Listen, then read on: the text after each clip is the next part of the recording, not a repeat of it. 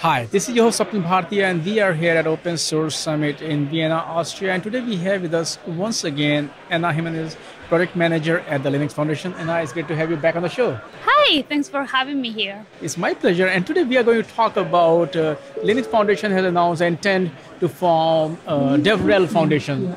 Before we talk about the foundation, I would love to know from you how would define how would you define DevRel, developer relations? Actually, that is a really good question. Um, there is the, the, main challenge is that there is not a clear definition of their role.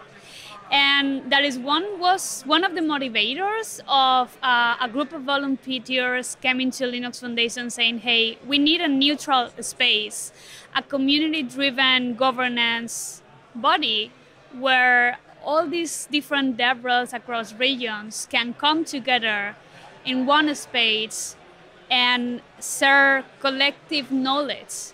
And together came up with this definition. So regarding to your answer, I don't have a question. Uh, I, I, don't have an answer yet.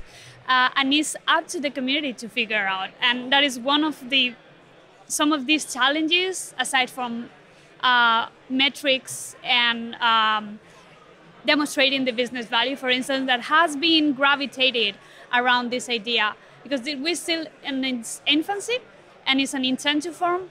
Um, and yeah, that's that's an open question still. And when we look at you know in past also there are a lot of announcements where Linux Foundation announces you know intent to form a foundation. After a couple of months or weeks, the foundation comes to exist. Uh, can you talk about the process? You know, how does like what does intent mean, and how what is the process that will lead to the actual foundation? Absolutely.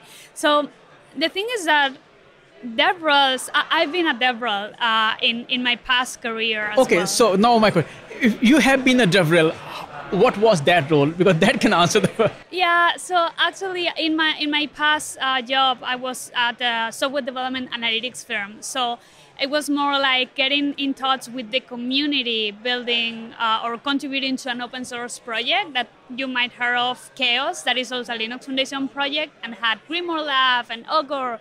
So trying to get involved in, in that community, and, and it was more like from open source path of a DevRel. But you know, my story, my DevRel story, is completely different to other DevRel stories, and that is the tricky thing. Um, there is no consensus, um, and there is, I feel like, this need of building best practices. But to build these best practices, we still we need to engage with the community. We need to ask them, what are we, what are we missing as a collective? How can we uh, uh, agree on challenges? How can we define challenges? And from there, uh, start defining, okay, uh, where are the ambassadors or where are these uh, people that can lead certain uh, working groups or interest groups to start getting actual work done. So that is like the ideal process, but it's still, it is a community driven, and I'm, I'm going to repeat it a lot. Uh, this is a, it, it, it, it has been established as a LF community project, non funded, involved, no sponsors. We want this to be by the community and for the community. And for that, we are having community calls. Uh, open to everyone uh, to came up and discuss these challenges that we are grouping together to see what can we do. We have a series of phases that has been developed as a proposal by one of our community members and volunteers trying to steer this initiative.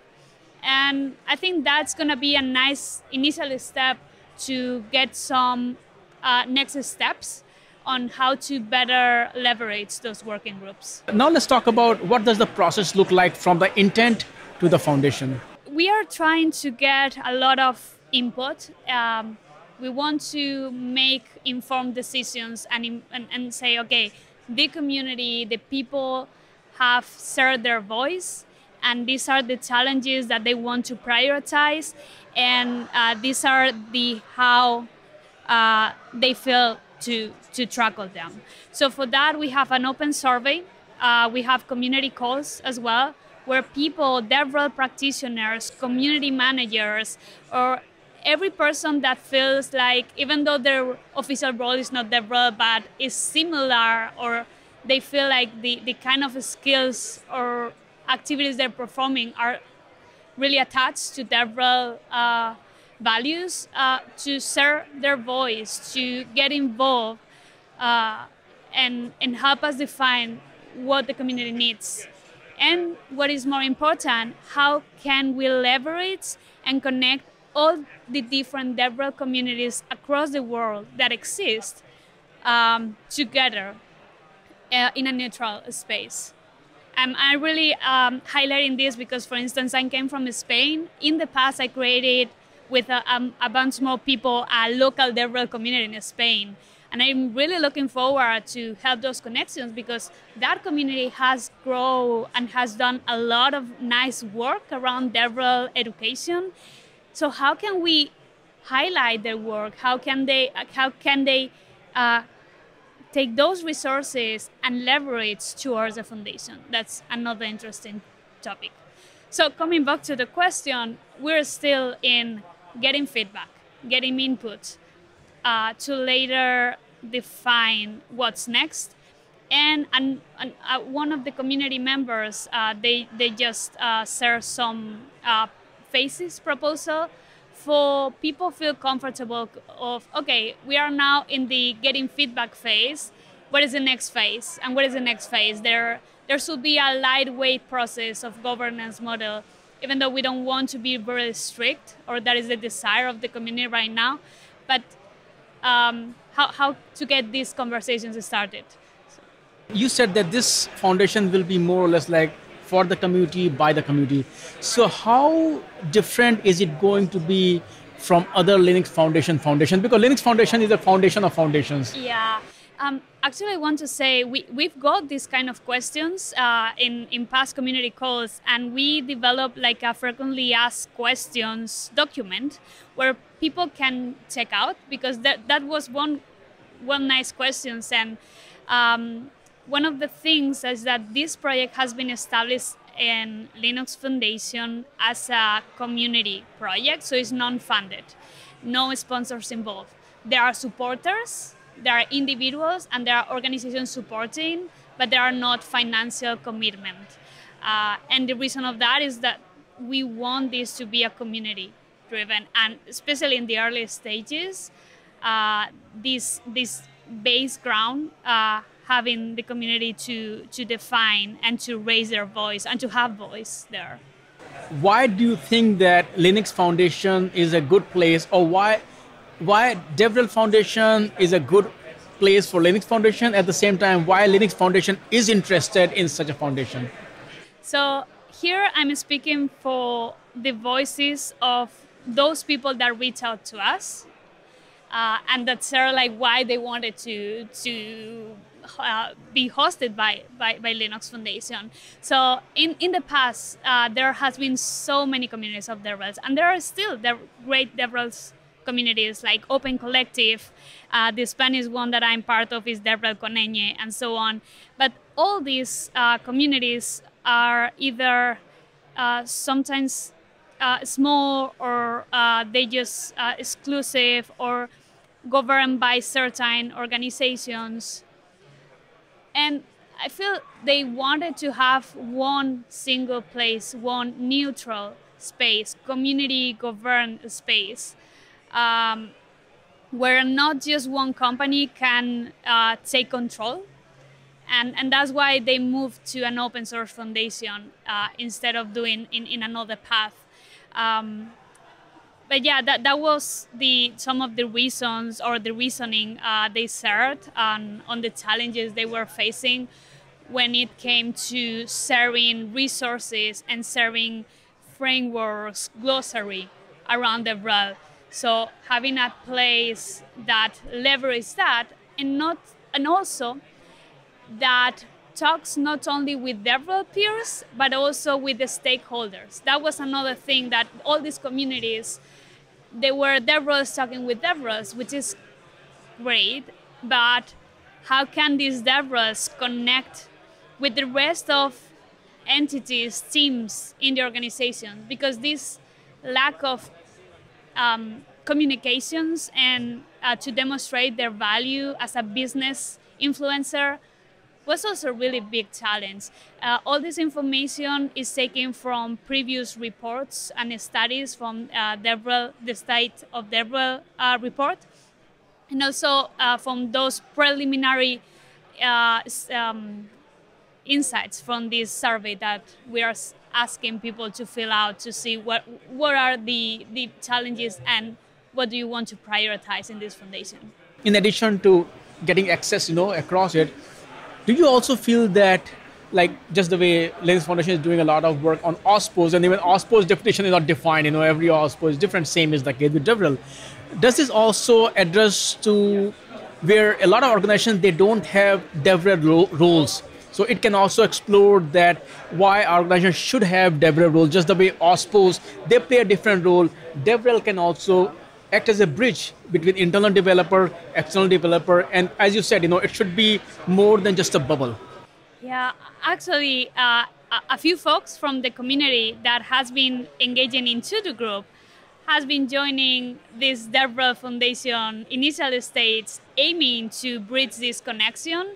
Uh, it's still open discussion, but it's true that you mentioned it, and not only you. Already, there are OSPO folks that they're either reporting to DevRel programs or they have close connection with DevRels. They're like, oh, this is really interesting to have these connections and, and strengthen this. And yes, DevRel Foundation is also built as a best practice collaborative project the same way that TODO Group has been operating, or FinOps, that is another another project also hosted under LF. It's very early stage, you know, it's only intent, but how folks can get involved, what what resources that are available to them, who should they reach out to? We have a wiki right now in groups. We have a, just a, a groups IO mailing list, community mailing list. So if you go to dev-rel.org, it will direct you to this wiki and it tells more about the foundation, the frequently asked questions. There is a survey this survey to uh, community engagement survey to know how would you like to get involved in the foundation? Uh, what is your role? Uh, any feedback you have? Uh, so because there, there might be people that wants to become i don't know more local ambassadors other uh, trying to save the policies and processes other community managers. So I feel like the first step will be that, and the second, join the Discord channel where the community gathers together and we announce the next community calls. We have two bi-weekly community calls, one happening APAC and EMEA friendly time zone, and the other in AMER time zone. Now let's flip the script, and I asked about you know how people can get involved who are interested. What about the folks who don't even know whether they should have DevRel, folks who don't know how to show them the value that they should get involved? I feel that, that is an open question. And still, it's, it's up to the community to see where are the best touch points, the best channels uh, to onboard this kind of these people and to feel welcome and to become this community a diverse and inclusive um, channel uh, where not just DevRels, but people willing to learn about how to get involved in DevRel and people engaging with DevRels across organizations can uh, gather together. And looking at your own, as you said, role as DevRel in the previous, you know, uh, your career path, uh, what what message you have, you know, or from the perspective foundation that why they should be interested in investing in DevRel kind of rules and uh, you know kind of cultural change. Why? If if I can, I think I'm gonna share my personal perspective based on my role. So in Spain, the DevRel definition, it's not not always is understood. I would have loved to have to have had in the past this kind of DevRel foundation where I can go and ask um, how how can I leverage my career path? How can I present to other organizations to show my value? uh, I would have loved to have some kind of glossary that I can point to other organizations so the organizations have like a, a common language when asking for several kinds of jobs. They understand what they are providing. So I feel like this kind of foundation is is a nice place where this can happen, where young uh, this young generation or, or all the generation as well can start their several careers, their several paths, and and have this common definition uh, for, for their future careers too. Does it make more sense, or is it really important if you are engaging in open source, having OSPO, depending on the size of the organization, or having a dev role, does help in once again, as you said, building the bridges because you are consuming software, you are contributing to the software. So having these roles remove a lot of friction. You your teams better understand. You show a lot of business. So does it really make sense a lot for all those companies who are involved with open source to also look at this foundation? Yeah, absolutely. I think uh, the open source DevRel that uh, I will consider myself this open source DevRel in the past too, as is if, if there is a person doing that, they should definitely get involved there. Um, DevRel, it's there is an essence of DevRel that is about educating developers, and it can be internal developers in the organizations to open source. That links a lot to the OSPO role of edu- internal education to get people ready to engage with open source. In fact, there's a lot of DevRels inside the OSPO. So but I mean, like this kind of education, because DevRel is also a big part of is around educating developers, internal or in external, in the open source communities. I feel like yes, of course, um, it's it, it would be great to have this common language, uh, and in the future, maybe they can alternate in in because open source is so integrated in software development that it, it will be open source and non-open source. It will be for the industry strategic goals. And some pieces will be open source, some others won't be.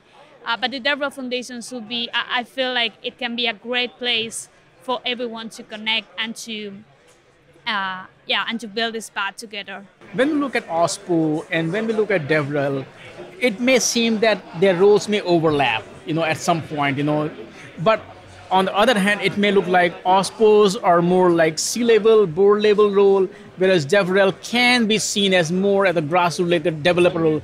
How do you see that? Or you're like, it's too early because we're still trying to define OSPO? Or you see some overlap where you're interacting, OSPOs come out to talk about DevRel and DevRel folks come out. It may actually feed each other, right? DevRel may help build an OSPO office, or OSPOs may set up uh, DevRel uh, roles. Yeah, um, so actually, there are some OSPOs that I'm talking to that devrel is higher position and vice versa. Uh, and in, in Group, we always say your OSPO is not my OSPO. Maybe in the DevRel Foundation, we will start to say your DevRel is not my DevRel, right? So we, we cannot make a confirmation. We, we're still trying to figure out. But definitely, it shouldn't be like a dictated thing. It will not be OSPO versus versus. It will be the OSPO, and you know it will complement each other. Yeah, and and there might be DevRels working within the OSPO or DevRels collaborating with the OSPO. Um, I feel like having that like how it should be structured shouldn't be uh, defined because there will be different use cases. Maybe having those use cases open, the same that we are doing in TODO, right? Like we we ask organizations having an OSPO share your your story, and as many stories we can have, you can see like all the diversity depending on the industry, depending if it's a, it's a public administration or an, a, a, regulatory industry or a software industry, you will see that the OSPOs are so different. But people can see because it's open and, and look at how this is structured. Maybe, and this is just like my personal aspirations, not not talking uh, for the community here, but maybe this kind of uh, sharing use cases, their real use cases, can be a, a, another cool outcome to, to do in the future. And uh, once again, thank you so much for taking time out today and talk about this uh, upcoming foundation. And once the foundation is formed, I would love to have you back on the show so that we can talk about the definition and the progress. But I really appreciate your time today. Thank you. Absolutely. Thank you so much.